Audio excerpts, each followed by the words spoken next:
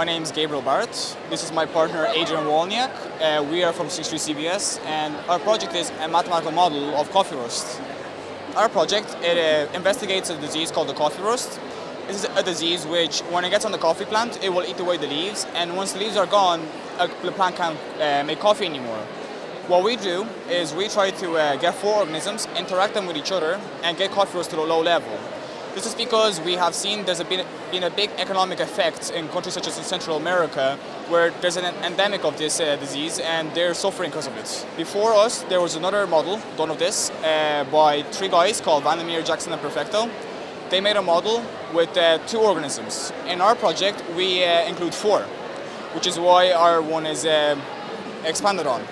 And this one, we include the mutualism in, of the two organisms we added, and we also include the more say, um, very violent nature of another fungus. What we do, we program these uh, four organisms in a, on our computers using Python and MATLAB, and we get results which are unstable at first. But see, uh, me and my partner were very uh, unhappy with this because we're just inputting random values. So what we done was we got uh, stable populations.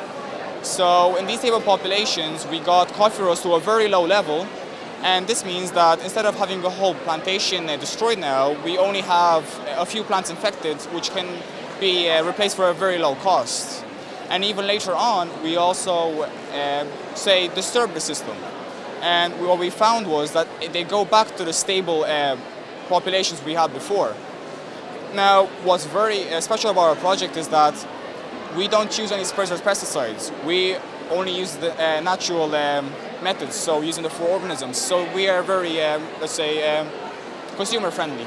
I'll say our overall summary is that we have devised the, uh, the values of stable populations that a farmer can implement in his uh, plantation or farm where coffee rust could be contained to a low level and it will save them a lot of money. And it's all natural as well.